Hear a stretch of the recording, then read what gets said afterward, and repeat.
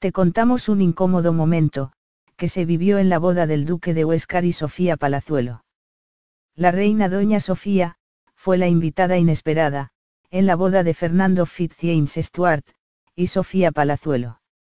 Las informaciones previas al acontecimiento, daban como segura la presencia de la infanta Elena y no la de su madre.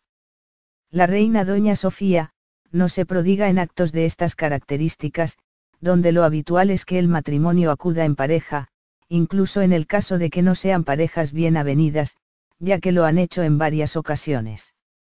El protocolo social, impera antes que el afectivo, y más en una boda institucional como ha sido el enlace del heredero del Ducado de Alba.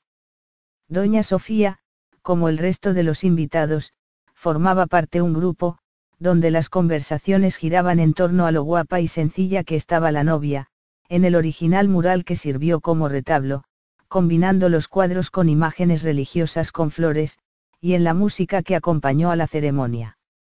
En un momento dado, uno de los caballeros que compartía la charla, se dirigió a la reina, para comentarle que días antes había coincidido con el monarca. Textualmente dijo, Señora, estuve con el rey emérito. Una expresión, bien avenida a nivel popular, pero un tanto inadecuada para la persona, momento y lugar.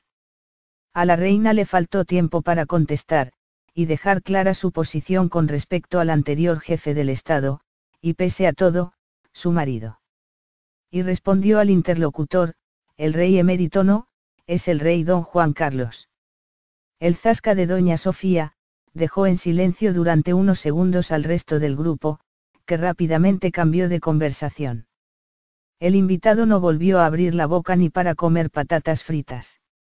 Otro momento que llamó la atención, fue el saludo de Jaime de Marichalar a la que años atrás fuera su suegra. Se acercó muy educado, besó su mano y a continuación, cruce de palabras sociales, y ahí se acabó el encuentro. Sorprendió esa frialdad de doña Sofía hacia el padre de sus nietos Victoria y Froilán, porque siempre había sido muy cordial.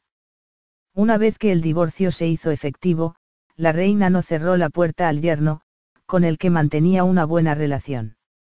Frente a Iñaki Urdangarin y sus tropelías, Marichalar ha sido la imagen discreta y ha mantenido un bajo perfil público. Este cambio de actitud resultó llamativo.